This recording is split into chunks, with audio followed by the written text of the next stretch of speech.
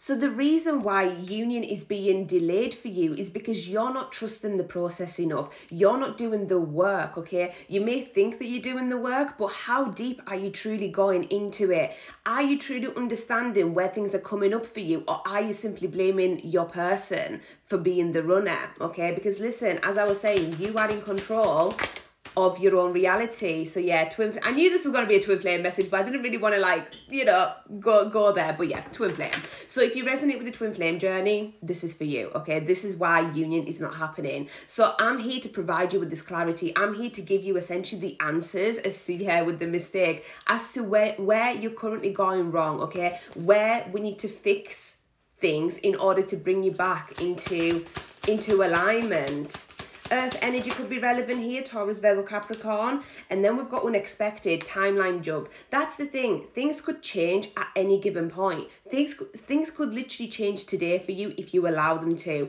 but it will only do so with different input. So ask yourself, okay, what am I currently not doing that I should be doing? And that may well be working with your inner child, that may well be trying to uncover where the traumas come from. Do the work, and I promise you, you will see the results. Yeah, because there's that runner and chaser dynamic. See?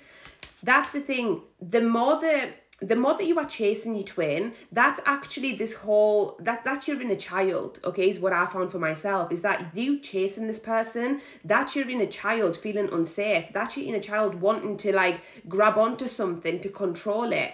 But that's just simply a reminder for you to get back into alignment, to focus back on yourself and understand actually there's something that I'm not dealing with that I should be dealing with. Yeah, not everything is as it seems here with the illusions card. Speak up. See, the thing is, there's a sense of, of you needing to stop hiding, okay? There's something that you're not willing to allow to come to surface for you because as I say it feels uncomfortable we've got defensive energy so this message you could find very triggering and if if you are finding this triggering I want to say good because that's literally showing you where you need to go what you need to do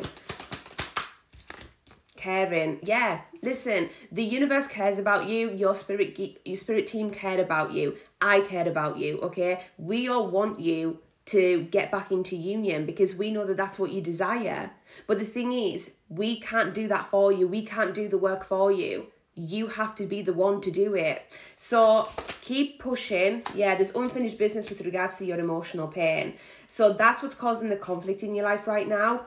Focus on where the pain is coming from and fix it, and union will happen.